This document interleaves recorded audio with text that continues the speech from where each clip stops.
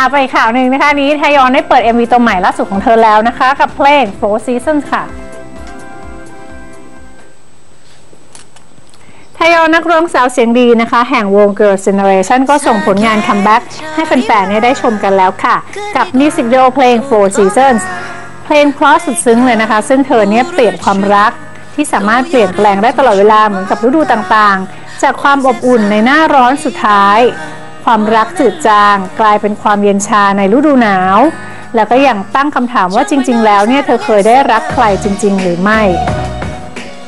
ใน MV นี้นะคะก็จะได้เห็นไทยอนในรูปลักษณ์ต่างๆ ค่ะ เปลี่ยนแปลงไปตามฤดูกาลซึ่งเธอก็ได้รับคำชมจากแฟนๆนะคะ ว่าสวยทุกลุกมีมาดความเป็นควีนงามสง่าสะกดใจด้วยเสียงร้องอันไพเราะของเธอค่ะ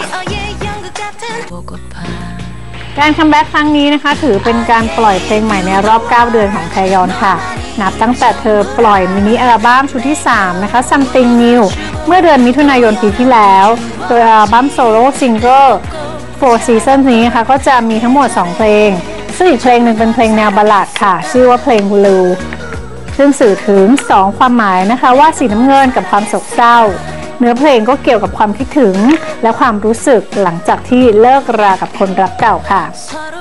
แฟนๆ สามารถรับฟัง 2 เพลงใหม่แบบเต็มๆ นะคะ ทั้งเพลงเปิดตัว Four Season แล้วก็เพลงประกอบ Blue ได้นะคะ วันอาทิตย์ที่ 24 มีนาคมนี้ ตั้งแต่เวลา 14 นาฬิกาตามเวลาในไทยค่ะ ทาง True ID Music นะคะ แล้วก็ช่องทาง